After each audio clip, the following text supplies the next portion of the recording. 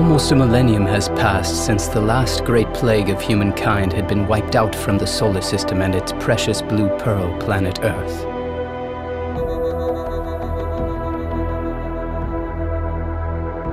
It was a plague so dangerous, a threat so grave that it spread throughout the infinity of space and eternity of time almost effortlessly to infest the stars.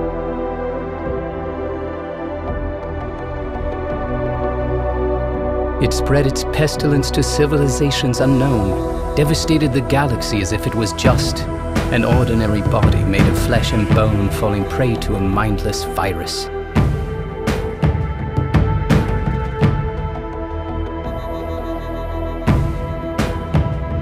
And in a sense, it really was a virus.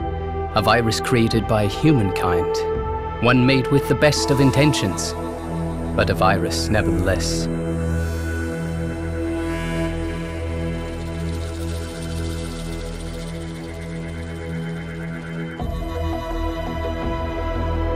Von Neumann probes, self-replicating machines, terraformers, xenon, even the enemy of God.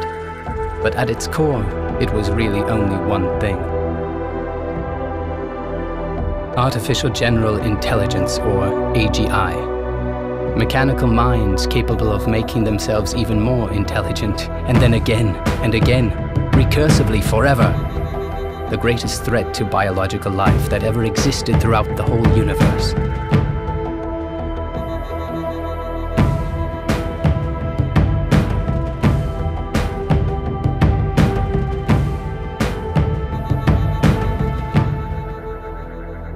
The terraformers were cast out from the solar system by sheer luck, just barely, with billions upon billions left dead in their wake.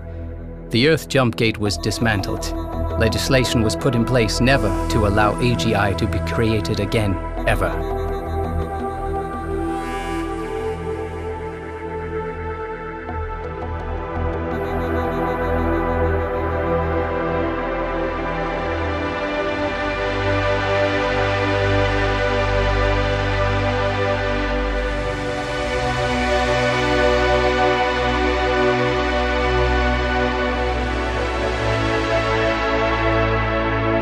Humankind never forgot the threat or the lesson of AGI, never ventured to try out this concept once more, not in a thousand years. But then it was discovered that species from outside the solar system thought differently.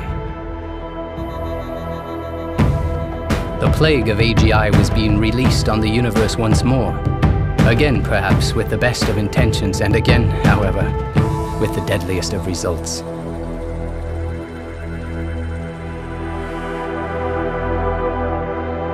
The government of Earth had to intervene, even if it meant Cold War, even if it meant a Cold War between brothers. And intervene Earth did. This escalating conflict would be given a name by historians. Terran conflict.